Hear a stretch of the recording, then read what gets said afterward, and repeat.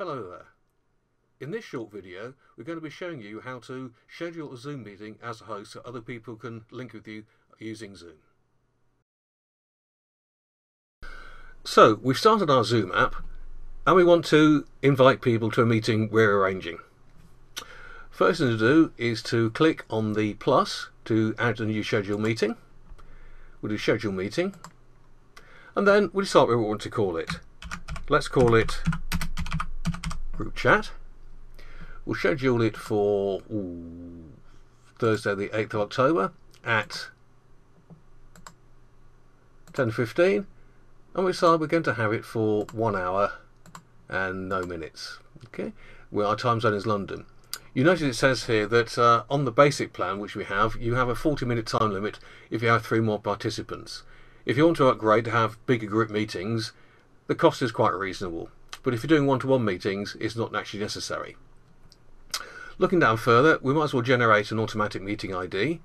There's a password that people need to get into the meeting, which is then your security thing, so people can't just drop in without you knowing about it. And you can then decide whether the video is on automatically or off. And under advanced options, we can we can have in this case we're enabling a waiting room. A waiting room is when you've got lots of participants and you want to control the way in which they come in so that when they click on the link to join the meeting, then they're going to be put into a waiting room for you to then admit them as necessary. I find it quite a good way of controlling a meeting rather than people just popping up spontaneously, but it can be quite good.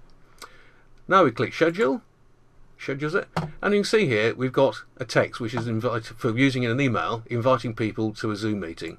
So we can just highlight that, copy to clipboard, and then send all that off to our various participants who will then click on the link in the email and drop into the Zoom meeting and then be able to chat away to you. So that's how you add a Zoom meeting in the future. So thanks very much for watching. Well, that's how to schedule a Zoom meeting as the host and inviting other participants. If you like this video, please say so and subscribe to my channel for top tech tips to see more and more. Thanks for watching.